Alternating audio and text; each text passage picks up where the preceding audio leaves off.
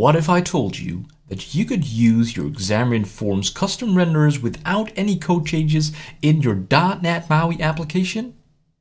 It can be done. Let's check out how to do it. Alrighty then, so here we are in Visual Studio 2022. It's gonna take me a while to get adjusted to not saying 2019. Um, but here we are in 2022.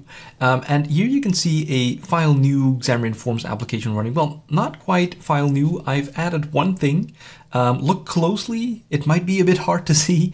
Um, so no, every label is green, right? So we'll see about that. Um, you can see it on the left in um, the XAML page. On the right, you can see it running on the Android emulator. Now already a little disclaimer, the Android emulator is not running great on my Windows machine. So if you see um, kind of like uh, performance issues, that is totally my machine in combination with this Android emulator and has nothing to do with the, the Forms app or the MAUI app that we are about to see. Um, so the thing I did was implement a custom renderer because you can have a custom renderer in your Xamarin Forms app, right? I have a video on custom renderers that as well. It should pop up on your screen right now, or you can find it down below in the video description if you want to know more about that. Um, but from here, I'm going to assume that you know what it does. Um, so I have that here, our label render, um, which is um, for Android. I'm going to show you the Android one. Of course, this also works for iOS. Um, but here we have this for Android and it's a very simple render because if you have like a real live render in your application, it's probably much bigger than this. You know all about it. You put a lot lot of love in there because, uh, you know, um, you wanted that thing customized. Um, but this just changes the control uh, background color to light green. Um, so this uses the label renderer um, um, for Android. It's uh, applied to the label here. Um, so that's all it does, right? And you can see it works here on Android. Every label has a light green background. Now, that is all cool, but you can use this exact same renderer in your .NET MAUI app. How cool is that? So if you're going to transition to .NET MAUI, but you're worried like, hey, I have a lot of custom renders going on. How is that going to work? Don't worry. You don't need to rewrite them all to the new um, handler um, architecture. There will be more videos on that as well. Um, you don't have to convert them all right away. You can first import all your renders without having to change any code any functional code, um, you can just use them and then go port them over one by one to go slowly towards like a native .NET MAUI app. So how we're going to do that, that's what I'm going to show you right now in this video. So this is this is our render, right? Um, and to show you I'm not cheating, I'm going to create a .NET MAUI app right here. Um, so I have the folder open which has this project right here. Um, so let me open a command window. So in the uh, address bar here, I can just type CMD and it will bring up a little thing here. And I can say .NET new uh, Maui and I will do dash N so I can give it a name. Um, and I will name this Maui custom renderer um, sample. Let's make it something like that. Enter, it will think for a little, and there we have our um, .NET MAUI app, so I can exit this terminal. Um, and here you can see a new folder was added, the MAUI custom renderer sample with a new solution, uh, the projects that are needed for our .NET MAUI um, thing right here. Let me quickly copy this as um, a path. There we go. I have another instance of Visual Studio 2022, so let me um, open a project or solution, paste in the folder here, and I'm getting my MAUI app, right? So uh, this is all preview bits, so there are some weird errors going on here, but um, my MAUI app is coming up. Let's select the Android emulator right here so I can run that as well. Um, and let's actually just see this running. So I'm gonna um, I'm gonna put this to the side just like I did for the other one. So we can see the emulator nice and clean. Here we go um, get this out of the way. Here's our emulator, and I'm just going to click run so we can first see the file new um, MAUI template basically, and then I'm going to just copy over the renderer. Of course, there's a little thing involved that you need to do, but I'll walk you through it, um, how to do exactly that. Um, so, and then you can see that you can use your custom renderer from Xamarin Forms in .NET MAUI without any hassle. All right, so here we go. Our app is being deployed to the Android emulator. You can see it going on right here. Nice .NET splash screen. I think we're getting the .NET Bot as well. Um, like I said, the emulator is a little bit slow on my machine, so apologies for that. Um, I typically work on um, a Mac, which um, um, is great, which works uh, good for me, so I have that set up. Um, but right now, you know, all the MAUI bits uh, work better with Visual Studio 2022 here on Windows. Mac, of course, is coming, don't worry about that. so here we have this Hello World thing, right? Looks cool, looks great. Um, Cool. But now we want to make our labels all green here as well, right? With that same custom render. So let's see, go over here to our Solution Explorer. And um, if you've already looked into MAUI a little bit, then you know that this is now all a single project, right? So our iOS, our Android, our UWP, all the projects are living in the same project. Well, UWP still has a separate project, but that will disappear whenever .NET MAUI will become generally available. Um, but for now, we have these kind of platform things here. Um, and here we have this platform folder with Android, iOS, Mac Catalyst, because we still need um, a little bit of separate files, right? Um, so we're going to copy this custom render into our um, Android folder right here. Um, so let me see if I can actually copy the exact same file, if that's going to work. Uh, so I'm going to copy here the label render from my Xamarin Forms Android project.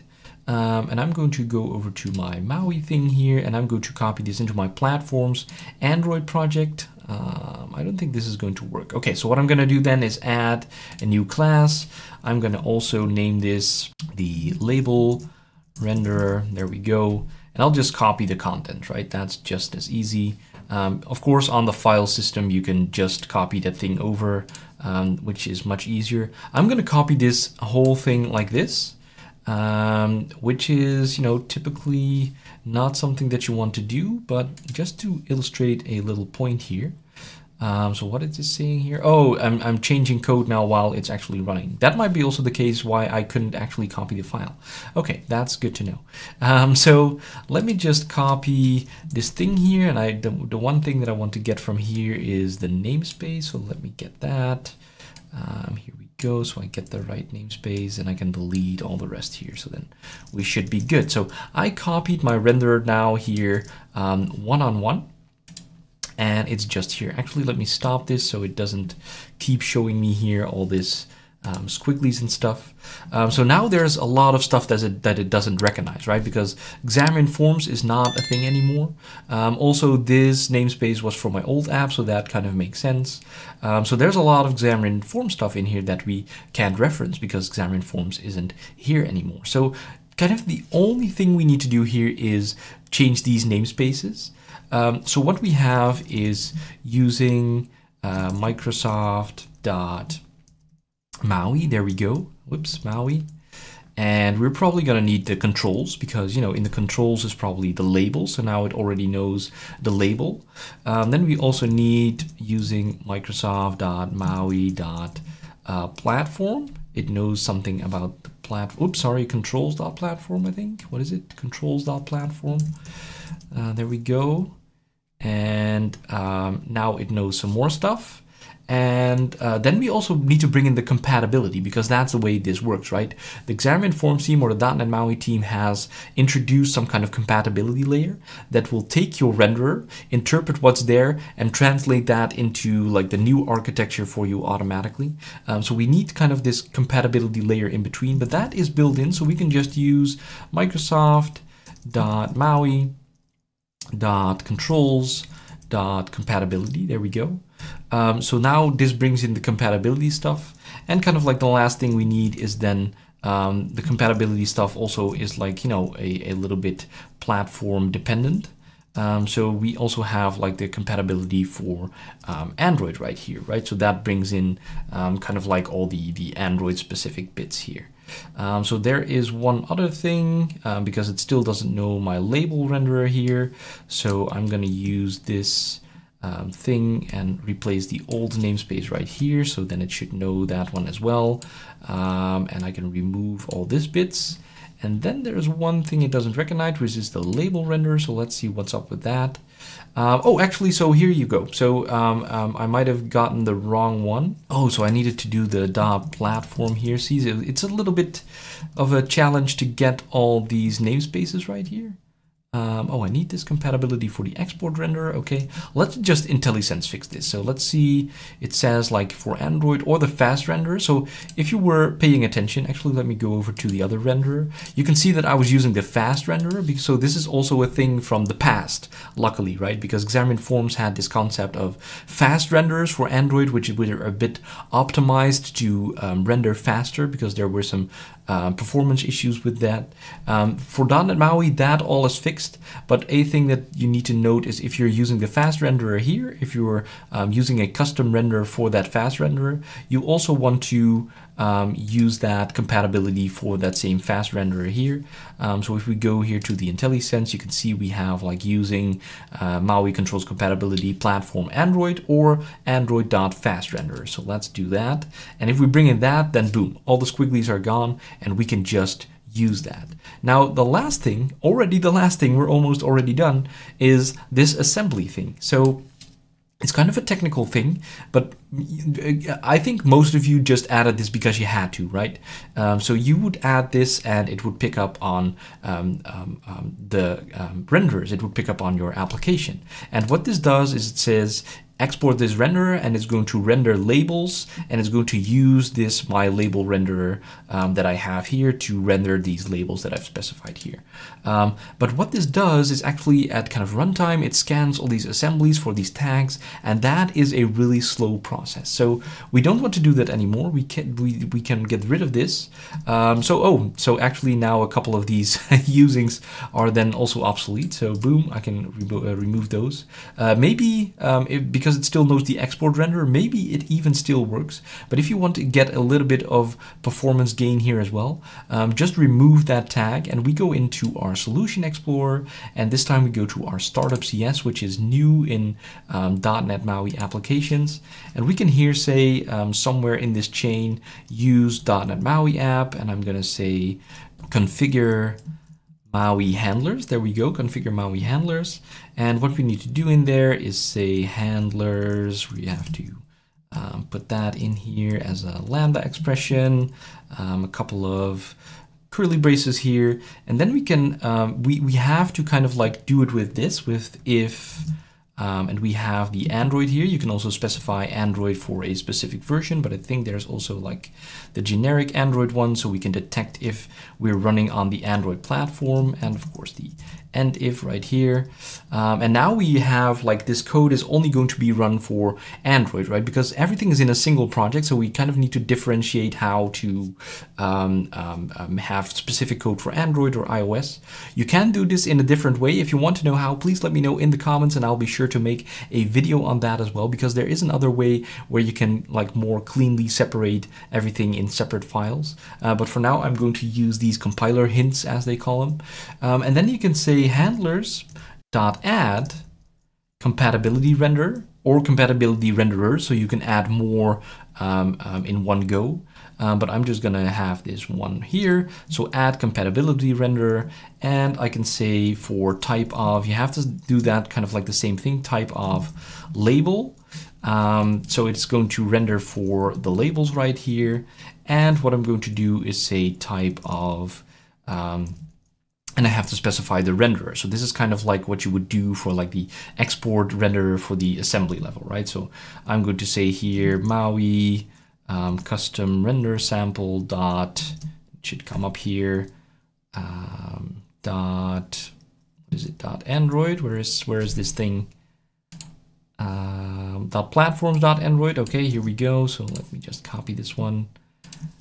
Boom, and it should be here my label renderer. There we go. Now it knows about it. Um, so there we go. Um, add this renderer. I think I got all the uh, closing brackets here. So, and this is all you need to do, add compatibility render. And now I should be able to just run this again on my Android emulator. Um, and we didn't change any functional code in our renderer. Um, and I can just restart my MAUI application and we will see that there is an error. That's interesting.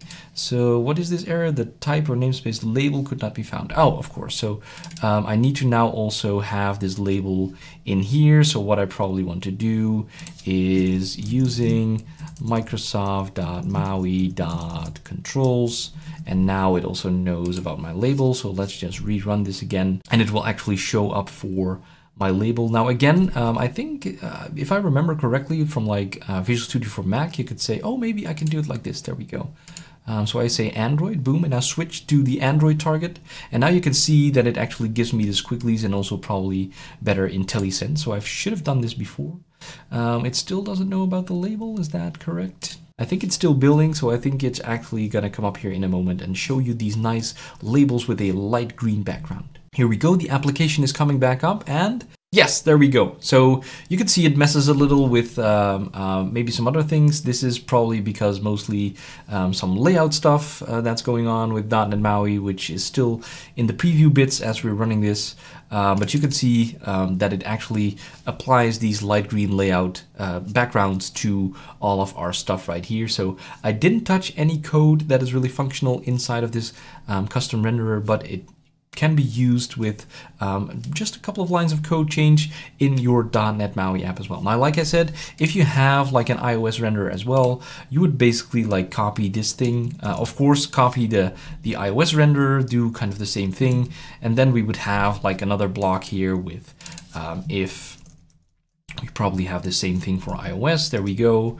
Um, and we can just add this compatibility renderer with like the name for the iOS one, right? And then it will also work on iOS. So that is how you can reuse your custom renderers without any change for .NET MAUI and make that transition to a .NET MAUI app much, much easier. If you're doing this for the first time, it might take a little bit getting used to with the new namespaces and all the new things going on here. But, you know, I think if you have done a couple, then it should be much, much easier. Uh, I also linked a repository down below in the video description by Javier, who is actually on the .NET MAUI team. And he's providing all kinds of samples from converting your custom renders to handlers, using your custom renders in a .NET MAUI app, um, converting your effects, behaviors, kind of like all the conversion scenarios that you would might need um, from Xamarin Forms to .NET MAUI, so go check that out. And I will be making videos on each one of them, so don't worry if you like to watch the videos more than actually reading yourself.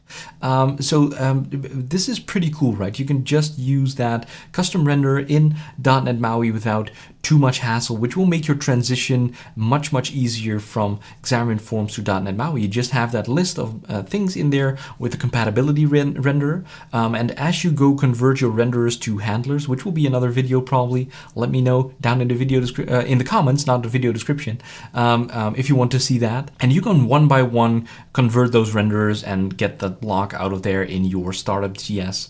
Um, and whenever they're all gone, then suddenly you have a .NET MAUI native app. So how cool is that? Thank you so much for watching this video. Please click that like button if you've actually liked this video. Subscribe to my channel if you haven't already done so, and I'll be seeing you for my next video. Keep coding.